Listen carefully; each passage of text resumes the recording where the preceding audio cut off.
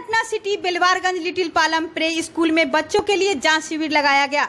वहीं दीप प्रज्वलित doctor S Krishna ने किया और स्कूल के बच्चों को डॉक्टर एस कृष्णा द्वारा बच्चों को जाँच किया गया। उन्होंने कहा कि बच्चों को समय समय पर टीका लगना चाहिए और जाँच होना चाहिए। वहीं इनरविल स्कूल की अध्यक्षता रीता रस्तोगी, सचिव ममता शर्मा के साथ पूरी टीम ने भी अपना पूर्ण सहयोग दिया। स्कूल की प्रिंसिपल मधु सिंह ने कहा कि चमकी की बुखार को लेकर जाँच शिविर लगाया गया है। एंकर पिंकी सिंह के साथ कन्हाई सिंह की रिपोर्ट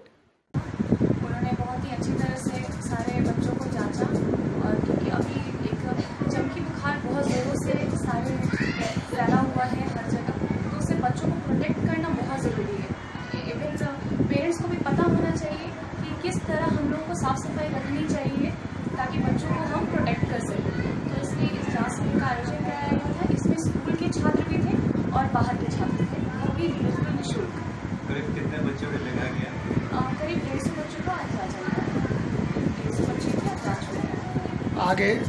और भी ऐसे और आगे और भी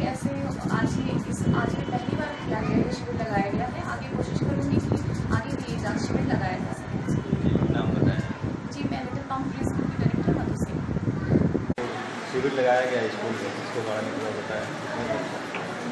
ये बच्चे अभी तो आ ही रहे हैं, अभी हम लोग पंद्रह बीस बच्चों को देख चुके हैं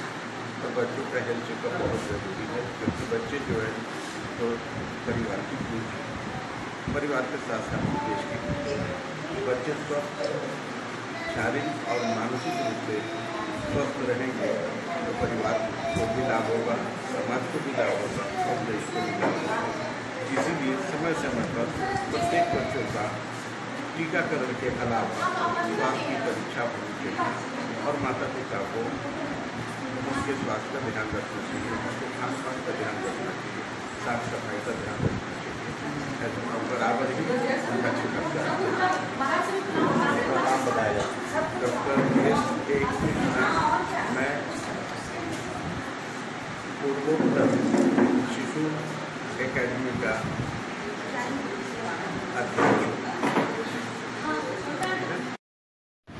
खबरों में अपडेट रहने के लिए हमारे YouTube चैनल न्यूज़ क्राइम 24 को सब्सक्राइब करें और बेल बटन को ज़रूर दबाएँ।